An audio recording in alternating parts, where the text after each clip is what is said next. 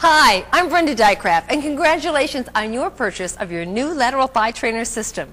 You're going to love the way the lateral thigh trainer's unique bidirectional movement helps you burn fat and tone your entire body all at the same time.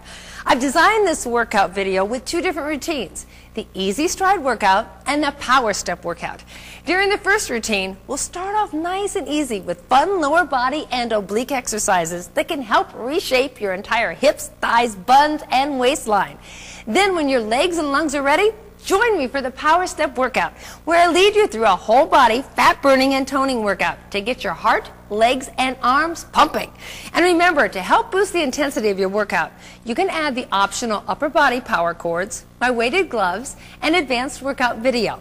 As we get ready to get started, make sure you have plenty of room to move your arms and legs through a full extended range of motion.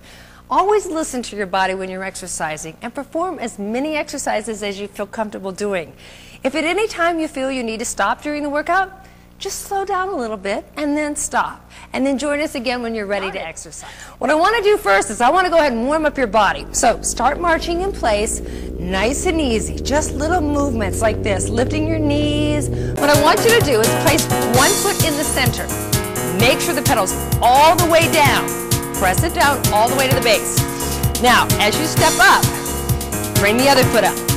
If at any point you feel like you're unsteady on this, you can simply put a high back chair in front of you or place this in between the doorway to get started. It's that simple. But I'm sure in time you're going to feel real comfortable on these wide pedals. So as you step up, you see that little bit of stepping motion? When you apply the pressure here with one leg, the other leg's going to come up. And then all the way down again. Got that? All right, let's press down nice and slow.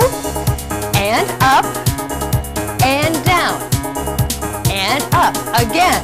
Nice and easy. And up. Good. Keep your knees nice and soft. And up. Good. Nice and soft. Don't lock out your knees. Good. And down.